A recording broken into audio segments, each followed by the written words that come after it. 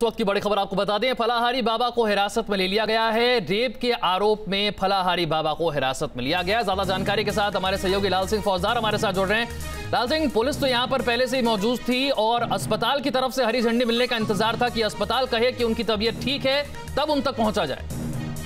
देखिए, बिल्कुल बाबा जब से हॉस्पिटल भर्ती हुए थे, उसके ठीक दूसरे दिन लगातार ये कहा जा रहा था, बाबा फिट है, उनसे पूछताछ की जा सकती है। लेकिन उस दौरान जैसा ही कल एसपी ने संकेत दिए थे, वो तमाम तथ्यों को इकट्ठा कर रहे थे, तमाम ऐसे सबूत जुटा रहे थे, जिससे पुलिस को कोर्ट में बैकफुट पर नहीं आना पड़े। और अब पूरी तरह से हम कह सकते हैं कि बाबा को हिरासत में ले लिया गया है।